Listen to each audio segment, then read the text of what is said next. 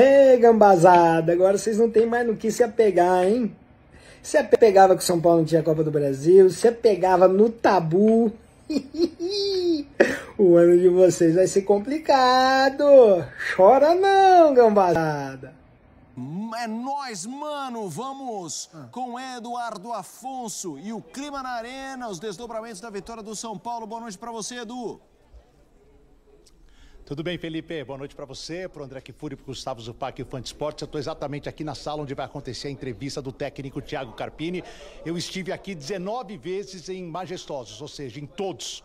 E pela primeira vez um técnico do São Paulo vai sentar aqui nesta cadeira, vai estar nesta mesa comentando uma vitória do São Paulo no Majestoso aqui na Arena Neoquímica. Agora são uma vitória, sete empates, mas ainda 11 vitórias do Corinthians. Claro que, falando do lado do São Paulo primeiro, o ambiente não poderia ser melhor, havia já uma confiança pelo que o time vinha apresentando.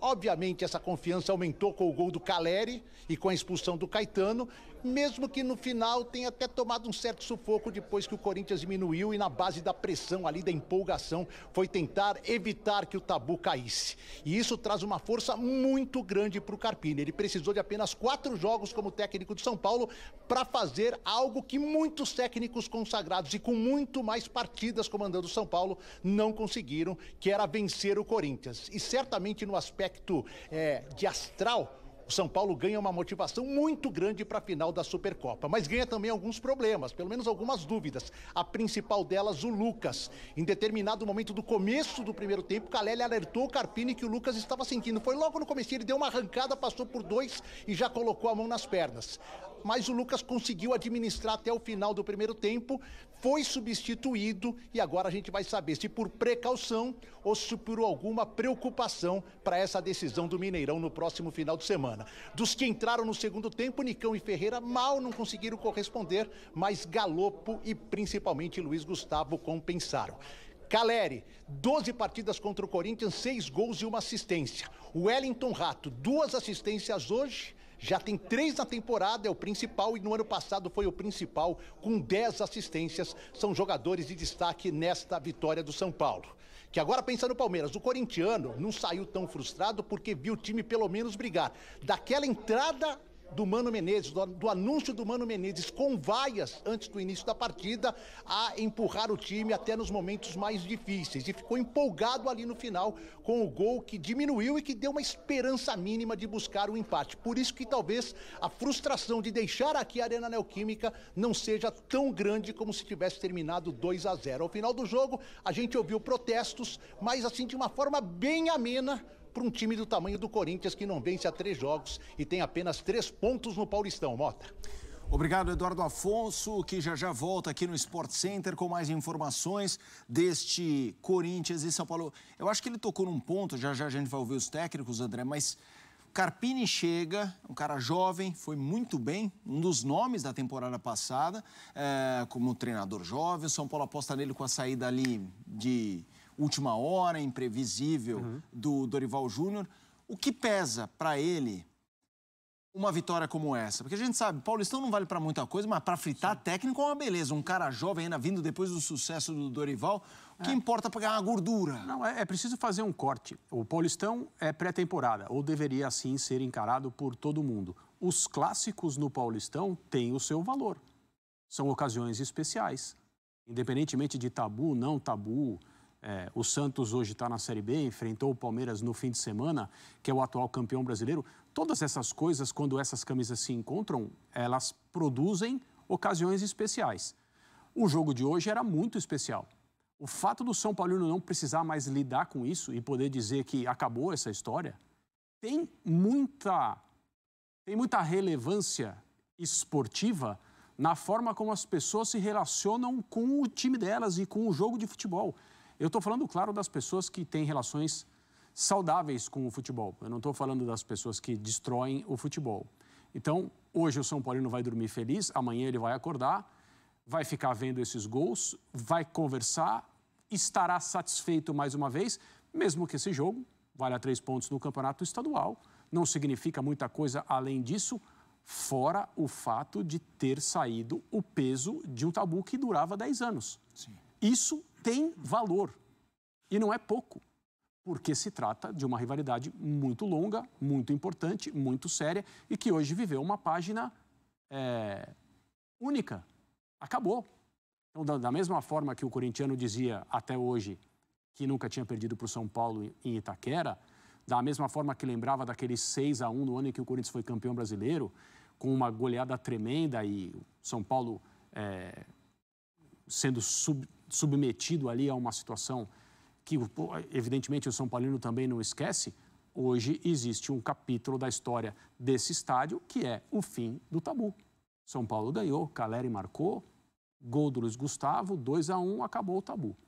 E para um técnico que está começando a sua carreira, é, digamos assim, no foco mais importante, dirigindo um time como o São Paulo, ainda muito jovem, muitas coisas podem acontecer é, e que, quando caem para o lado da, da derrota, das atuações ruins, das críticas, acabam atrapalhando. E o contrário também serve. A gente falou aqui, ele vai precisar mostrar alguma coisa muito rápido, porque senão a juventude, a falta de experiência, isso tudo vai ser usado contra ele.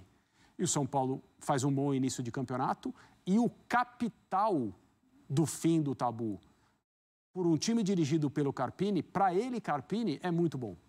Uhum. É muito importante além de trazer tranquilidade, confiança e tal, ele é o técnico que acabou com isso. Ó, eu não vou comparar as coisas, mas o Dorival é o técnico da primeira Copa do Brasil. Está na história. O Carpini é o técnico do fim do tabu.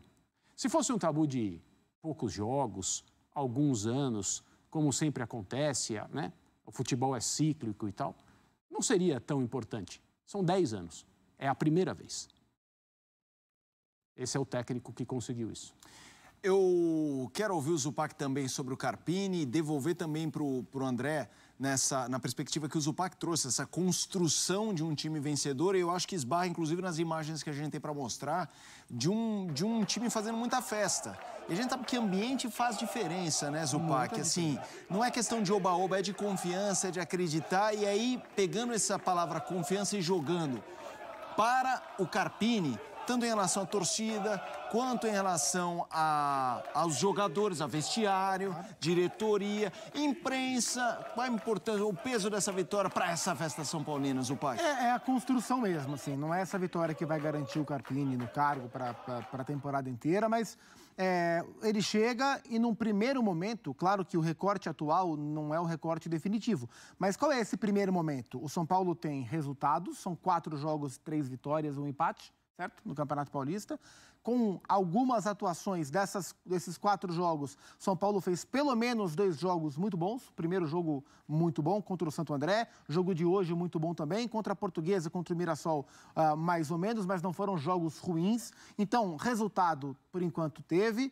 É, desempenho, por enquanto, teve. Formação ofensiva Teve também, né? Vamos lembrar, o São Paulo com uh, dois volantes, com Lucas, Luciano, com Caleri, com Rato. Aliás, Rato, para mim, o melhor em campo. Né? No, no, clássico, de novo, contra o Corinthians, taticamente muito bem, tecnicamente também muito bem, muito disciplinado em campo.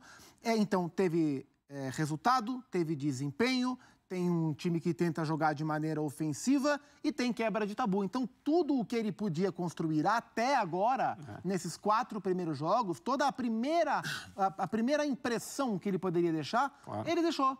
Sim. Vai ser o suficiente? Não sabemos. Domingo isso garante ao São Paulo que ele não vai perder para o Palmeiras? Não garante. Talvez tome uma porrada do Palmeiras, talvez ganhe do Palmeiras. Nós não sabemos o que vai acontecer daqui para frente. Mas nesse primeiro pacote de jogos, até o clássico em Itaquera contra o Corinthians, o que sempre é algum tipo de marco ou era algum tipo de marco para o São Paulo, o que o Carpini poderia entregar dentro das condições oferecidas ele entregou. E ele vai viver dessas pequenas fotografias para tentar é, diminuindo a desconfiança de quem tinha desconfiança pelos claros motivos da idade, da inexperiência, de uma carreira ainda começando para um clube desse tamanho. Então acho que são passos, ele vem tentando dar passos firmes no São Paulo. E acho isso muito positivo por hora, embora não seja nada definitivo ainda. Salve torcida tricolor, iniciando mais um vídeo no canal.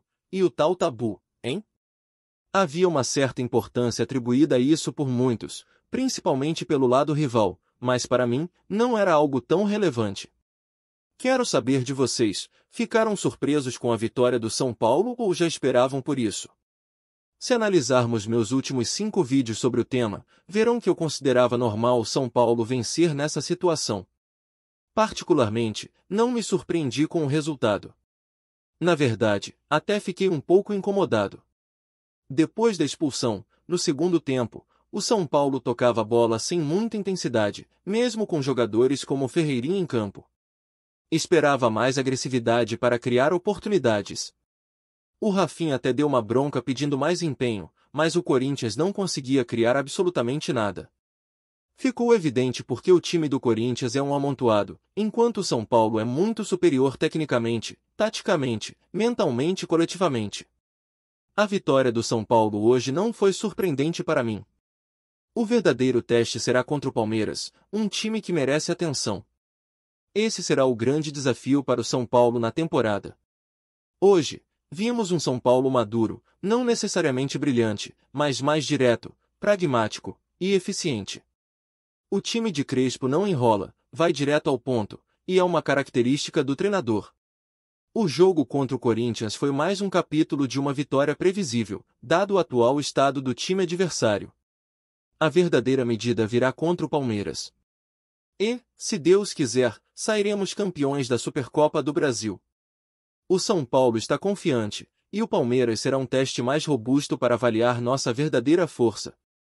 Deixe sua opinião nos comentários, se surpreendeu ou não, se acha que o São Paulo poderia ter feito mais gols. Não esqueça de deixar o like, se inscrever no canal, e até o próximo vídeo. Vamos, São Paulo! Itabu, meu amigo, já era.